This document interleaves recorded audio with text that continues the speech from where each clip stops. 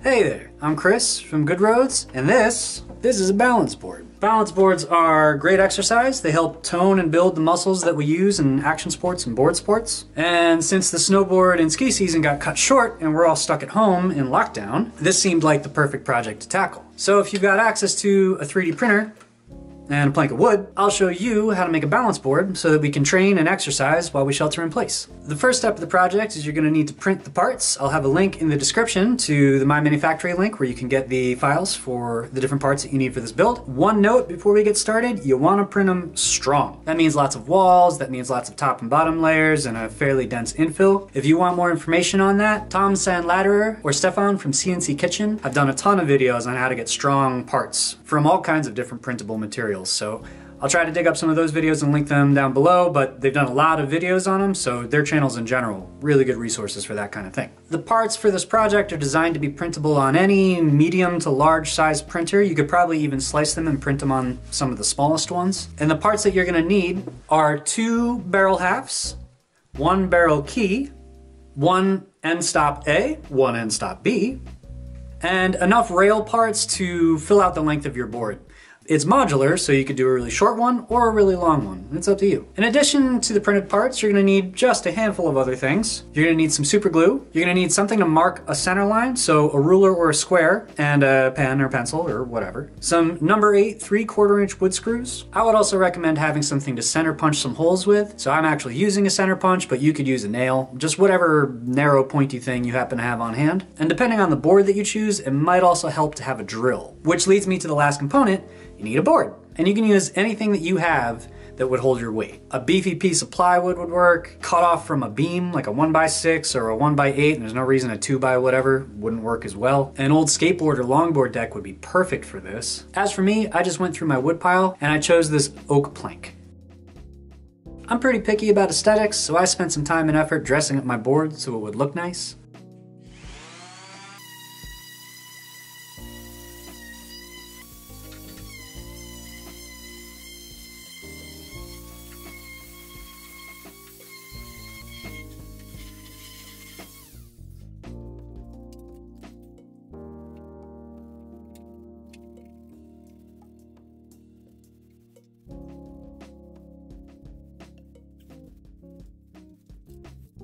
But that step can be optional, it's up to you. Once you have your board, the next thing you need to do is mark your center line. We're going to be using this to align all of the printed parts on the bottom of the board.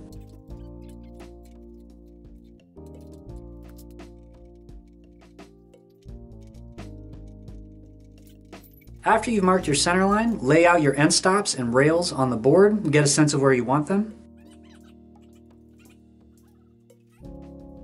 And after that, we're gonna sight our center line through the bolt holes in the part and center punch for our screws.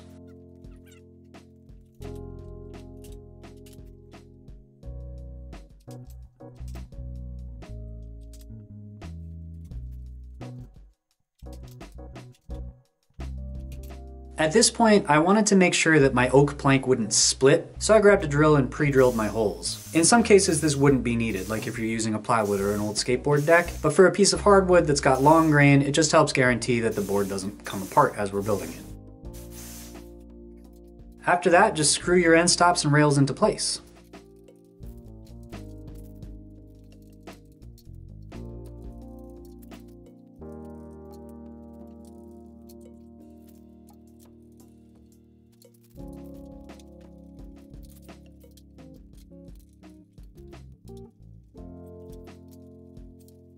To make the barrel, all you need to do is superglue the barrel key into one half of the barrel.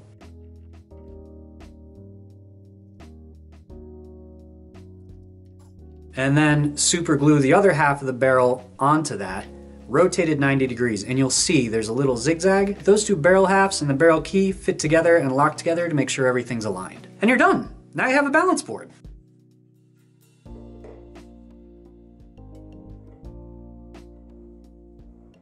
When you're starting out, it can be helpful to hold on to something as you're learning how to keep your balance on the board. It can be a table or a door frame or your friend's shoulders or a ladder. But eventually you'll build up the muscle memory and the balance will become smooth and natural. With practice, you can try more difficult things, like changing your stance,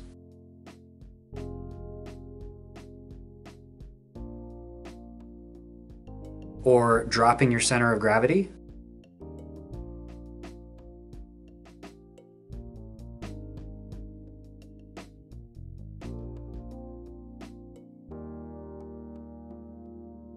Or even trying to use the board one-footed.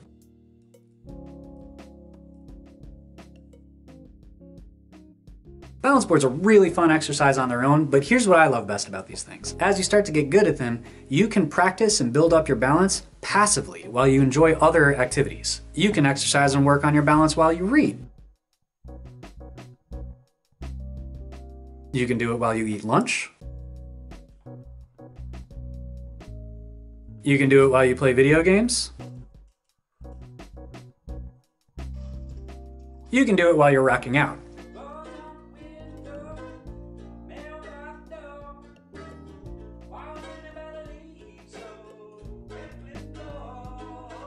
You can even practice your balance while you're shooting a YouTube video.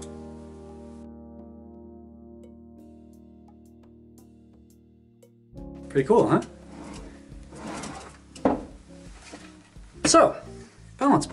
The perfect shelter in place your ski or snowboard season got cut short exercise and training piece of hardware. And as long as you have a 3D printer, it's a really quick, easy project to tackle while we're all stuck at home during the lockdown. So I hope that you like the project. I hope you can make use of it, make yourself some balance boards, get some exercise. I'll have the links to all the relevant files down in the description below. If you got any questions or any other comments, drop them down below. I respond to as many of them as possible. If you like this project, you want to support the channel, you're interested in other kind of board sport activities, that's what we do here. So subscribe if you want to see more. There's a lot of cool projects coming in the future. That's going to be it for this one. Thanks for checking it out. And until the next project, I'll see you soon.